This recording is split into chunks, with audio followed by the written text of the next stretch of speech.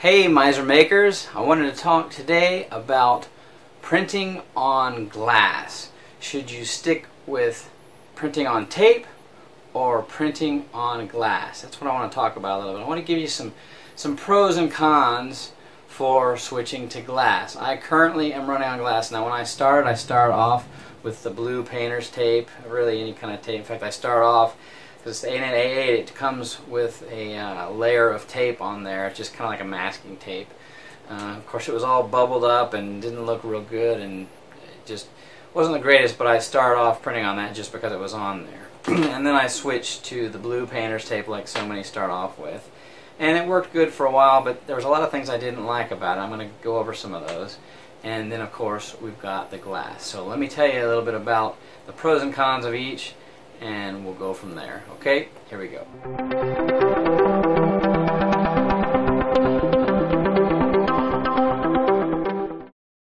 We start off with the blue tape and I've migrated to glass now. One of the big differences in going with the glass is the cost because with the painter's tape, even though I would get this like at the Dollar General or something like that, I usually get them pretty cheap. Still, once you do two or three rolls, you're looking at 10, 15 bucks. And if, you know, as you keep printing and printing, you're looking at more and more cost for the tape. Whereas the glass, I got this just at our local big box store. Got them at a Lowe's. And it was only $2 and something for this piece. So I actually got about four of them for 10 bucks. And they cut it to size on the ANET A8 and I gave them those metric, and they got all confused because it wasn't English system. So anyway, we converted it to English system, and they they cut the pieces for me. Now they wouldn't cut the corners, and I'm going to talk about that in a little bit. Um, but that's one of the, the challenges of going to glass. But cost is the big thing. So this is under three dollar one-time investment and you can keep using this glass over and over and over instead of buying tape again and again. So that's one of the big advantages is the cost. Also the durability. This is going to pretty much, you can keep using the same piece over and over and over for a long time as long as you don't end up breaking it somehow. Whereas the tape, you know, you have to take it off after a while. You can do a few prints maybe on it, but every time I would use it, after the first print, there would usually be some worn off on the tape, and um, each time it seemed to just kind of wear down a little bit, or would bubble up a little bit, or would be indented, or something. It, it wouldn't be level. So that was another negative to sticking with the tape. Whereas the glass, it maintains its nice smoothness and it just works all the time. Speaking of smoothness, the prints on glass are amazingly smooth where it actually prints on the glass. You'll have a nice gloss, glossy, smooth finish which is just looks awesome. Whereas the tape is not going to be nice as glossy and smooth. Now it'll still be good, but there's just something about the print when it's done on glass. It's just amazing. Um, also with the tape you can get little ridges because you're not generally not going to find tape that's going to cover your whole hotbed with just one piece. You're going to have to lay out several layers, several strips all the way across. So it's a little bit of a pain in the butt setting it up. In fact, then you're going to be putting, you know, several layers on there. And then you got to trim the edges so it's nice and neat. Anyway, it's just kind of more of a pain in the butt. But where those little ridges are in between each piece of tape, you could see that on the bottom of the print. You would have a little bit of a ridge there and plus it's a pain lining it up where you have both of them not overlapping each other but right next to each other but without a gap in between it's a pain in the butt to get that to actually lay out properly so that that's another negative another thing is the surface being level a lot of hotbeds especially when once they come up to temperature they might bow a little bit or you might have some pits and valleys in there and so it's not really smooth whereas glass is made to be smooth perfectly smooth surface. So when you put the glass on there, even if the hotbed below it is not perfectly smooth, once you put that glass on there, it is smooth all the way across. You're not going to have the pits and levels. So that's another big advantage of it. Another thing is with the tape, a lot of the prints that I would do would end up sticking to the tape. Uh, especially if there's a lot of surface area on there. uh, when I would print it out, I'd try to pull it off. Sometimes the tape would be stuck to it, and the tape would just rip and stick to the bottom of the print, and it would pretty much just ruin it. I mean, you, you couldn't even peel it off. You try to peel it off, and it would just tear, and you'd have a lot still stuck on the bottom of the print, and the print's pretty much just useless at that time.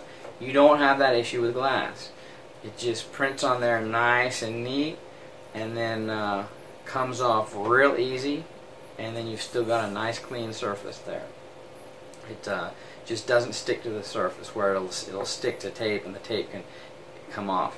And the glass, it's real easy to come off, especially when it cools down. You let the print cool down and the hotbed cool down all the way. Sometimes the print will just slide right off. It just makes it really easy. If nothing else, it's just a little bit of a snap and it comes off. You usually don't need to use a tool to pry it off or anything. It's just a nice uh, nice loose feel just just stuck on there enough where it doesn't move and just come right off. It, it's just another big advantage to it so.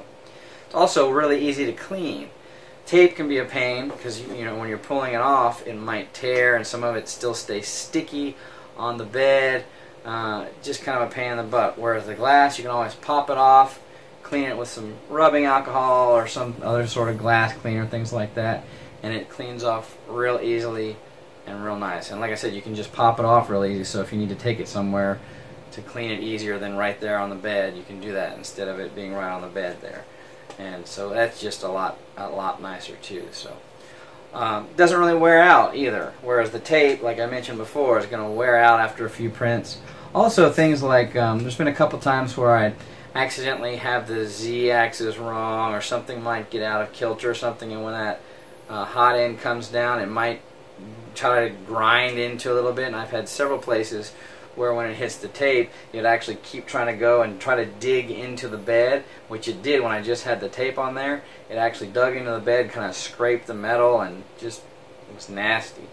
Whereas on the glass it would hit there and it it wouldn't break the glass, it didn't chip the glass or anything, it just kind of sat there and the stepper motors were pumping a little bit and I canceled it real quick obviously, but it didn't cause any issues on the glass where it would have with the tape, it would have gone right through the tape and then nicked or somehow scuffed the actual heat bed which could cause it to heat unevenly and stuff like that. So that's another big advantage to the glass. Some sort of cons to the glass is uh, it can be tough to level if you've got um, like with the Anet A8, you just have those screws there. And if you haven't added an upgrade to where you've got the screws on the bottom of the bed to level it, which is still kind of a pain to level it, um, it can be a pain if you have glass on there because the glass is either going to cover the screws, which mine does, that's the way I have it set up. So the screws are on the corner here, and it's going to cover those up.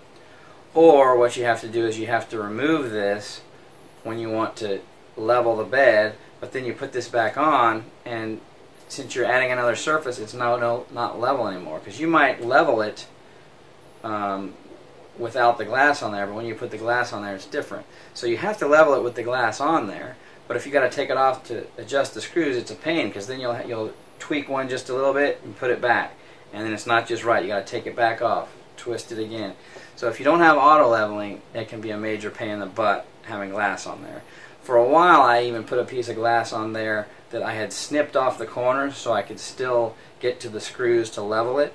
Um, but it didn't look very good first of all. I didn't have a glass cutter so I just used some snips that I had. You can you can actually cut glass by snipping it underwater, but it still it didn't look real good. It was a little jagged. It wasn't too sharp, but it just didn't look good and it just wasn't nice. So since then though I've gone to the full piece that does cover up the screws, but I'm using auto leveling. And so another issue is even if you're using auto leveling with glass, if you've got a inductive sensor on there, the glass, it doesn't sense the glass. It's basically trying to find the metal under it.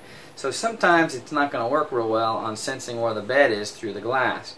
Plus the, the heated bed can cause issues with those inductive sensors too. So with glass, the inductive sensors don't work so well. But I've got a BL Touch clone, which they work great because it's actually touching the surface. So that's the way to go. So you really eliminate a lot of those problems if you've got auto leveling with a touch sensor. Then there's not many cons at all because uh, then you can still auto level the bed even with the glass on there.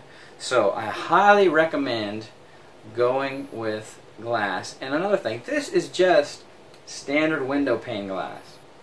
So it's not some fancy, expensive type either. And this works perfectly fine for me. I mean, I'm sure you can justify other reasons for getting expensive, specialized pieces of glasses like you'll see um, on the internet everywhere. But this works just fine. Like I said, at Lowe's, and here, you can see this on here, uh, it's 3 by uh, 3 30 seconds. That's just kind of standard window pane glass. Uh, it was actually a 10 by 12 original piece that I had to buy and they just cut it down the size. So anyway, just regular standard window pane glass works perfectly. Never had a problem with it. Hey, it works great. I highly recommend going to glass. So upgrade to glass on your ANET A8. Get some awesome prints happy making, and I'll see you next time.